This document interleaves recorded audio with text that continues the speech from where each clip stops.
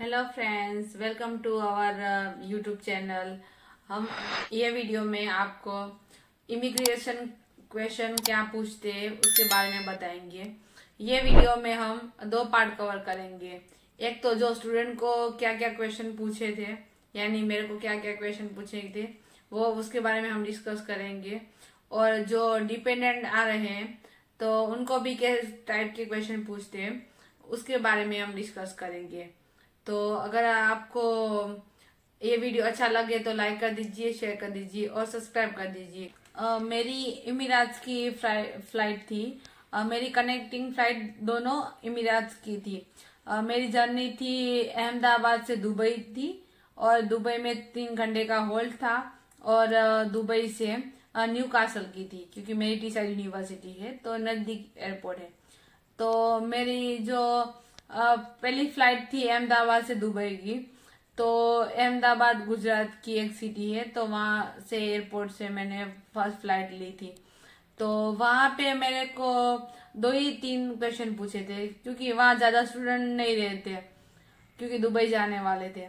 तो वहाँ पे मेरे को अपना नाम पूछा, आप स्टूडेंट हो तो यस और आपकी कौन सी यूनिवर्सिटी है और क्या आपका कोर्स है? तो ये चार पाँच क्वेश्चन मेरे को पूछे थे। अगर कोई बड़ा एयरपोर्ट है दिल्ली का है मुंबई बॉम्बे का है तो वहाँ पे में भी ज़्यादा क्वेश्चन पूछ सकते हैं। क्वेश्चन क्या पूछेंगे? वो फिक्स नहीं रहता क्योंकि वो सामने वाले बंदे के ऊपर वो देखते हैं कि वो जेन्यून स्टूडेंट उसको नहीं लगते तो वो ज़्यादा क्वेश्चन पूछ लेते हैं।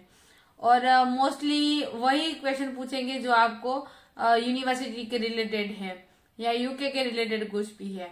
तो अगर आपने अभी तक हमारी वो इंटरव्यू क्वेश्चन वाली वीडियो नहीं देखी है तो पार्ट वन पार्ट टू दोनों वीडियो देखिए। और मैं ये वीडियो के डिस्क्रिप्शन में भी उनकी लिंक दे दूँगी। तो आप वो देख लीजिए। तो मोस्टली सारे क्वेश्चन कवर हो जाएँगे तो आपको इजीली आप वहाँ पे आंसर दे सकते हैं।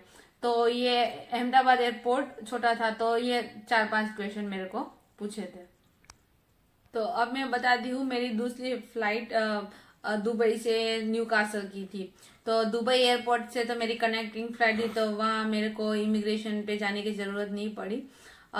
दुबई से न्यू कासल एयरपोर्ट पे जब मैं लैंड हुई तो न्यू कासल इमिग्रेशन मेरे को क्लियर करना था। तो वहाँ पे मेरे को चार पाँच क्वेश्चन पूछे कि आपका कास्ट लेटर दिखाइए और आपका कोर्स कौन सा है? और बीआरबी लेटर दिखाना था। बस ये दो ही लेटर दिखाने थे, फिर उनको स्टेम मार के जाने दिया। आप जेन्यून स्टूडेंट है तो आपको बिल्कुल घबराने की ज़रूरत नहीं है, क्योंकि आप यहाँ स्टडी के लिए आए हैं। मोस्टली स्टूडेंट को ज़्यादा क्वेश्चन नहीं पूछते, क्योंकि मोस्टली वो पूरा इंटर मिस एडमिशन प्रोसेस क्लियर करके आए हैं। यूनिवर्सिटी ने सारे डॉक्यूमेंट वेरीफाई किए यूके वीआई ने भी किए तो ज़्यादा उन लोगों को तंग नहीं करते। अगर हाँ उनको देख के ऐसा लगा कि ये जेन्यून नहीं है यहाँ कोई भी एक, एक भी कोई भी डॉक्यूमेंट दिखाने को बोला और नहीं दिखाया या कुछ बताए रहे जैसे तैसे तो उनको ज़्यादा डाउट लगेगा तो वो ज़्यादा क्वेश्चन पूछ सकते हैं। तो अगर चार पाँच फ्रेंड्स आप साथ में आए सेम फ़्लाइट में सब तो कोई को दो क्वेश्चन पूछे कोई को पाँच या कोई को पंद्रह मिनट भी ये इंटरव्यू चला इमिग्रेशन पे तो वो बंदे पे और टाइम पे क्या पूछते हैं उसके ऊपर डिपेंड करता है।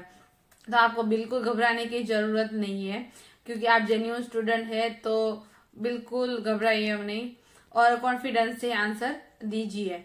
और हाँ आपके साथ जो ओरिजिनल डॉक्यूमेंट और जेरोक्स की डॉक्यूमेंट है, वो आपकी सेवन के की बैग में रखे, क्योंकि ऑन द स्पॉट आप उनमें से डॉक्यूमेंट निकाल के उनको दिखा सकते हैं, क्योंकि आपके पास सब डॉक्यूमेंट है।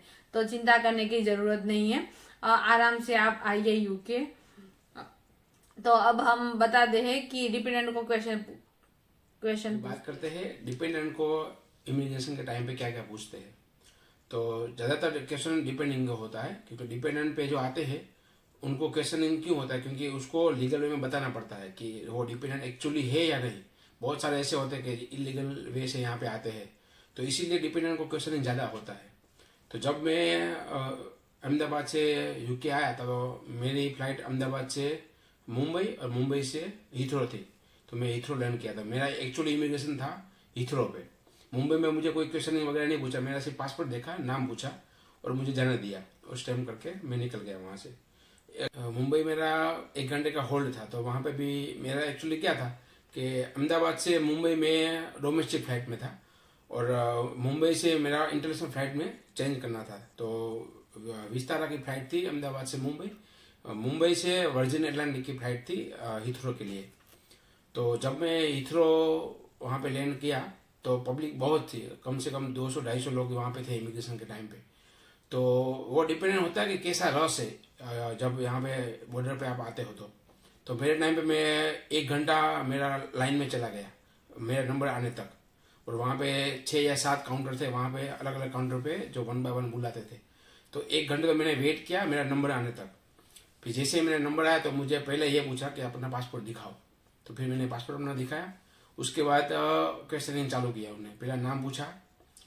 फिर आप यहाँ पे क्यों आए हो? तो उसका रीजन आपको देना पड़ेगा, आप यूके यूके क्यों आए हैं? डिपेंडेंट पे आए हैं तो आपका रिलेशन बताना पड़ेगा कि आप कौन से रिलेशन पे आए हैं।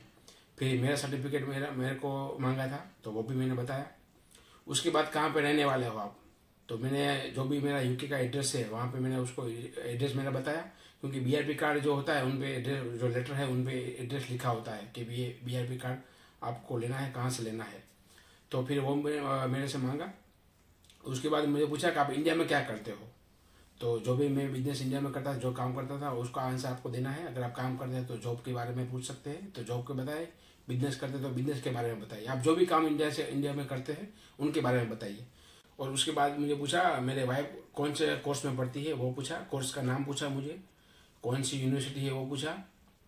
और उसके बाद मेरा फेस देखा कि भाई, कैसा है? कोई डाउट तो नहीं जाएगा उनको? उसके बाद सिक्का मार के मुझे जाने दिया। तो वो होता है कि आप कितने कॉन्फिडेंस से आंसर देते हो, उसके ऊपर आपको क्वेश्चनिंग का आंसर देना रहता है। अगर आपने थोड़ा घबरा गए तो क्वेश्चनिंग ज़्यादा पूछेंगे, क्योंकि ये घबरा क्यों रहा है आंसर देने में?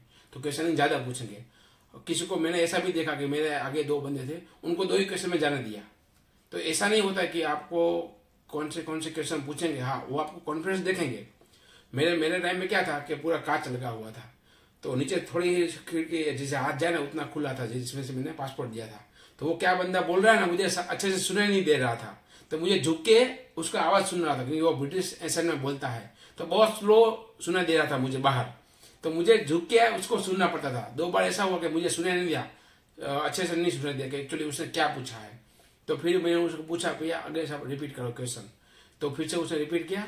फिर मुझे, मैंने उसका आंसर दिया। तो ऐसा घबराना नहीं है आपको, क्योंकि अभी ऐसा होता है, क्योंकि पहली बार आप ब्रिटिश एसेंट से बात करते हो तो टोन में समझ में भी नहीं आएगा आपको पहले पहले लेकिन आपको कॉन्फिडेंस से आंसर देना है तो आपको वो जाने देंगे, कोई ऐसा प्रॉब्लम नहीं होता है।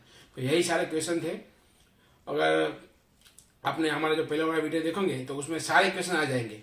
तो वो देखिए और कमेंट कीजिए कोई क्वेश्चन रह गया है, आपको भी और क्या जानना है। ये कमेंट आया था कि इसके ऊपर वीडियो बनाइए तो हमने सोचा, चलो हमारे को टाइम मिला है आज, बहुत दिनों के बाद तो हमने ये वीडियो बनाया है। अगर हमारा वीडियो आपको अच्छे लगते हैं तो लाइक करिए शेयर करिए और अपने जो फ्रेंड वगैरह है, जो आने वाले हैं यूके आने का सोच रहे हैं तो उनको शेयर कीजिए तो उनको भी पता चले कि कैसे कैसे प्रिपरेशन करनी है क्वेश्चन के बारे में। तो थैंक यू फॉर वॉचिंग मिलते हैं नेक्स्ट ब्लॉग में.